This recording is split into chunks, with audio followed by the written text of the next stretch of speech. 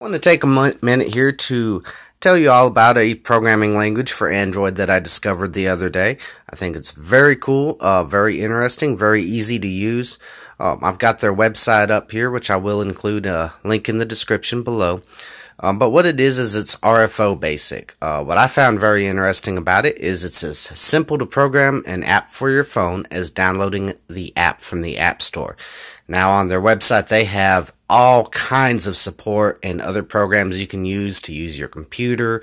Just, it's very, it's almost endless on the things that you can do with this programming language and the ways to do it. But what I found interesting about it was that I could actually program on the Android device itself, um, and that had some appeal to me. Uh, so what I'm going to do is I'll show you a program that I wrote in RFO Basic. It's actually my first program I wrote in it, so it might not be perfect.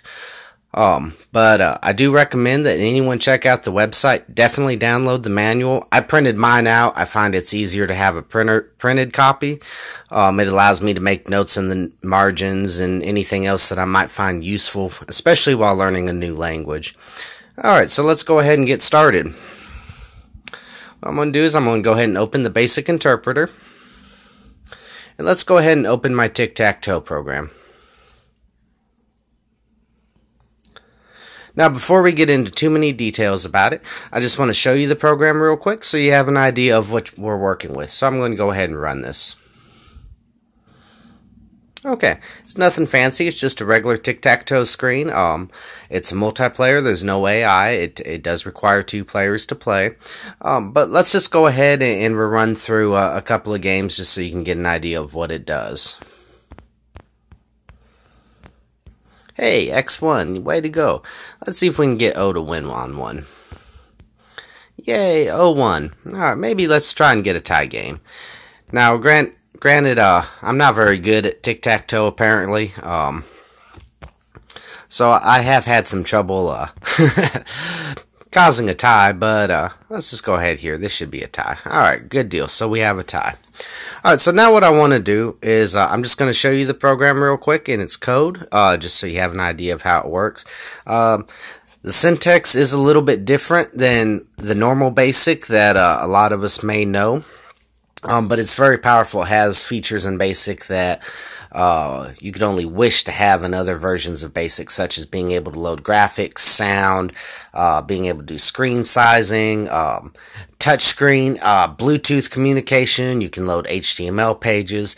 Um, if you look, there's a whole bunch of sample programs that come with the distribution um, that I highly recommend checking out because they will give you an idea of the commands and the syntax and the different things that you're able to do with the phone, along with the manual. Um, very cool stuff. But let's go ahead and get started with my program here. um, I'm just going to kind of go through it step by step. Uh, I'll go into detail on some parts a little bit more than other parts. Um, but what I want to show you here is uh, the first the first section of the uh, program here that I thought was very cool is actually to scale the screen um, so that it works on different screen resolution devices.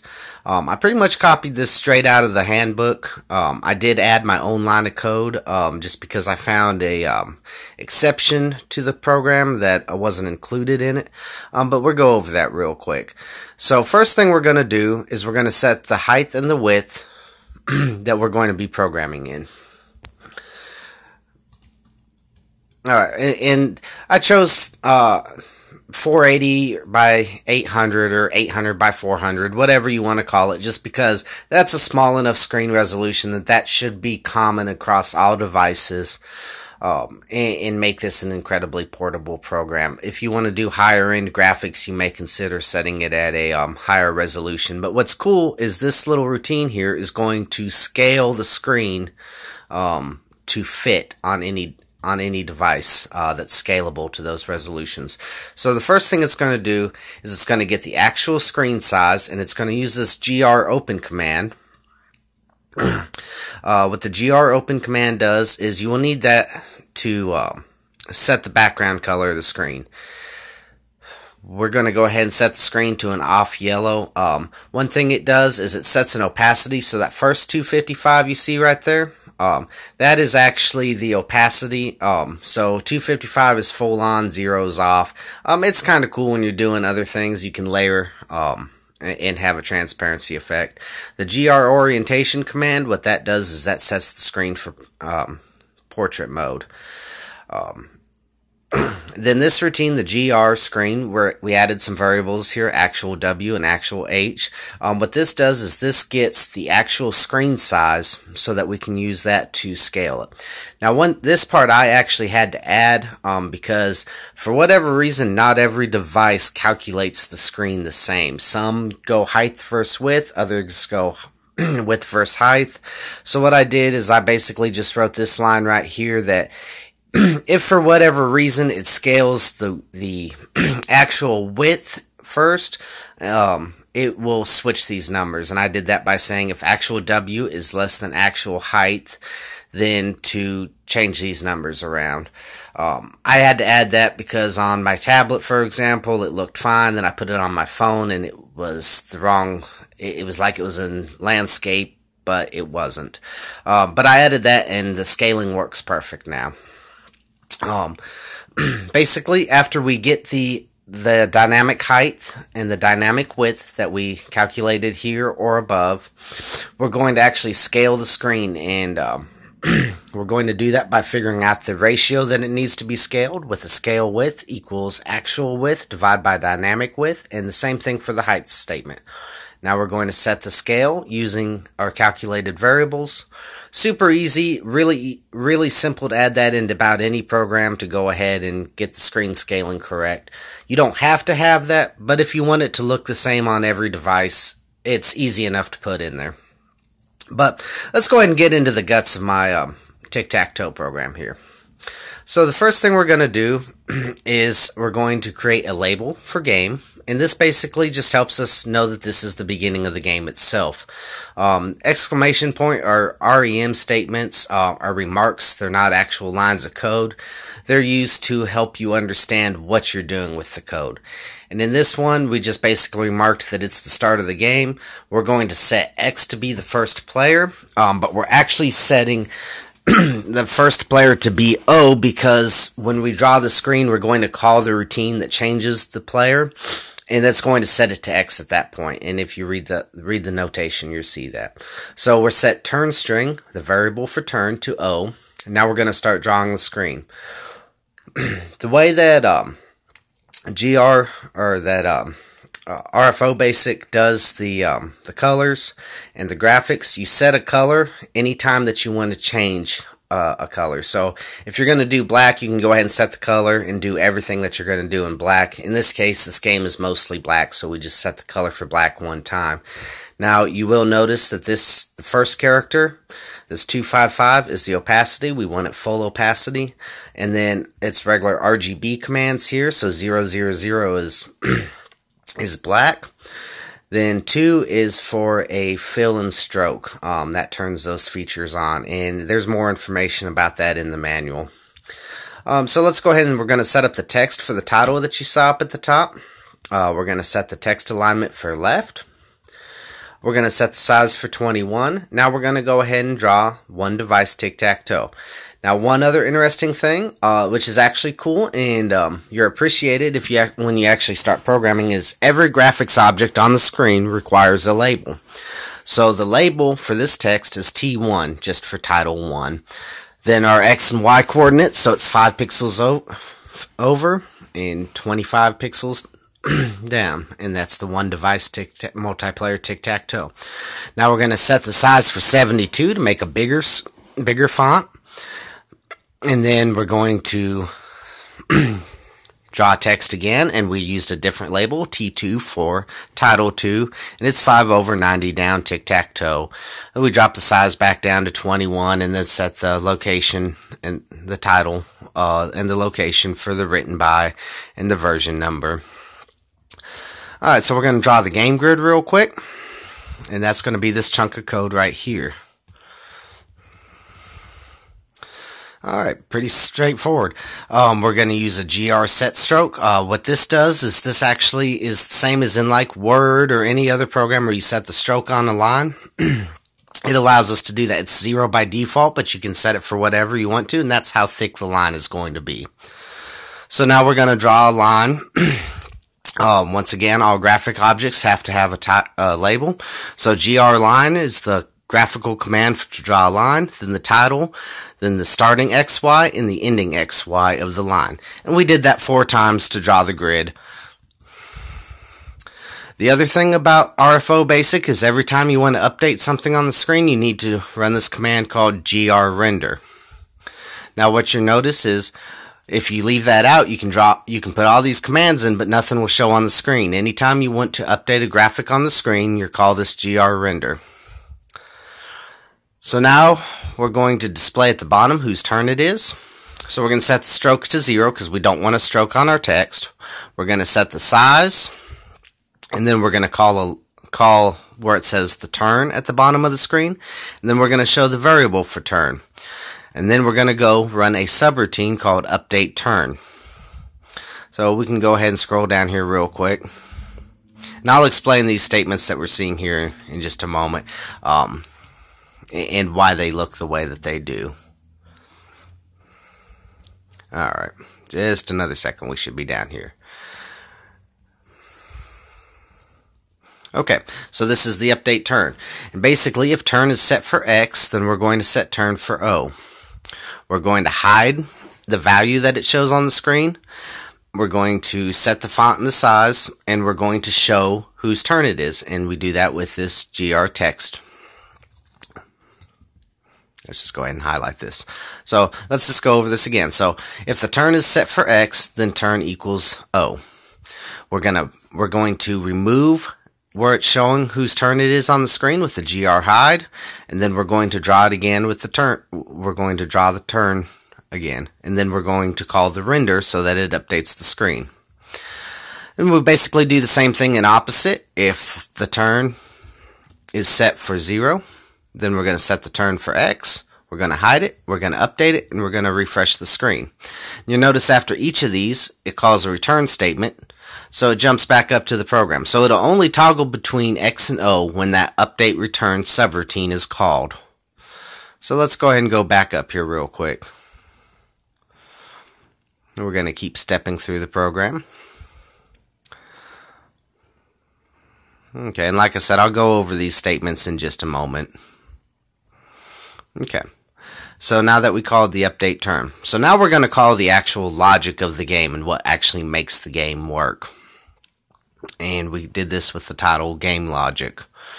So first thing we're going to do is we're going to check to see if the screen's been touched.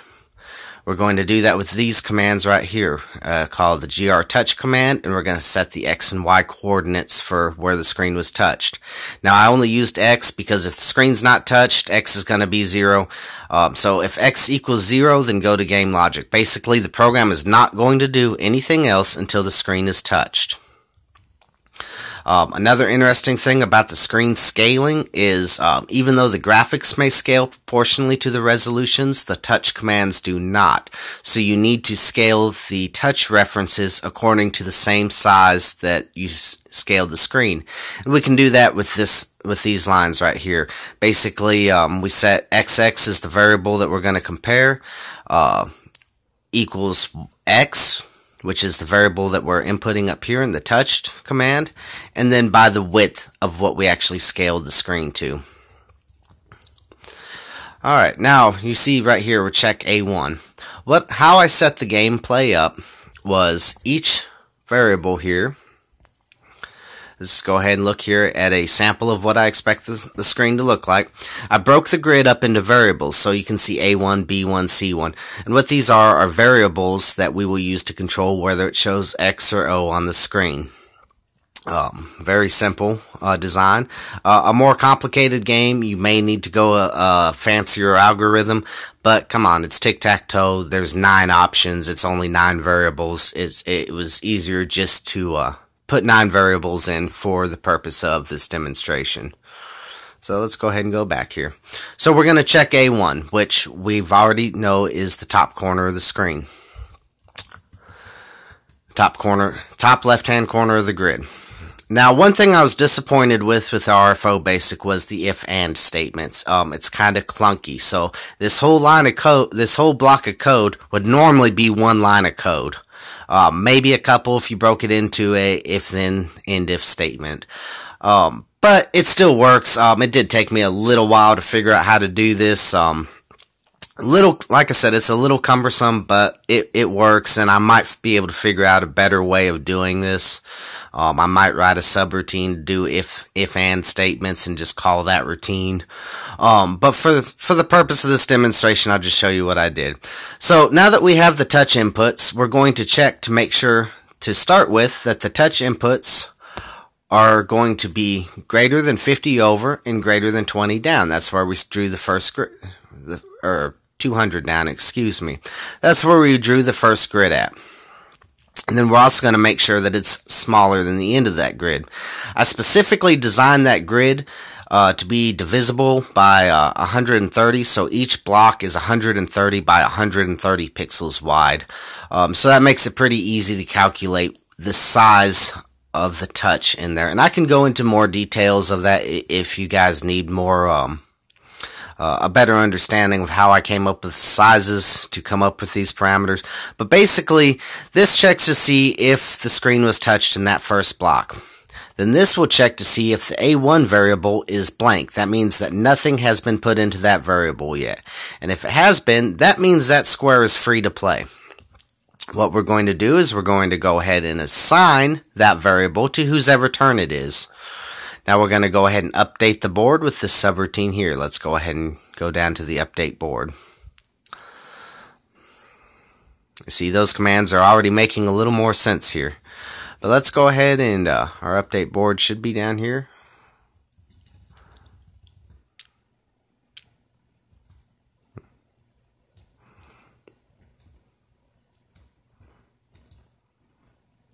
Okay. So now basically all this does to update update what we see on the board we set the, the text size and the locations to draw each variable. For example we just updated a1 so it's going to draw the draw a the variable for a1 it's actually going to draw the variables for all of them but if they're blank it won't show anything and if it's already got an x or o in it it won't matter. It'll just show it again but have to give everything a title. That's why we've got the gr.text.draw. And then I just go, went ahead and gave the label A1 just because that's what it is. And the X and Y coordinates of where to put it. And then the variable of where to put. And I followed that same algorithm throughout here. And then we call the return statement. This goes back up to the game logic. So let's go ahead and go back to the game logic.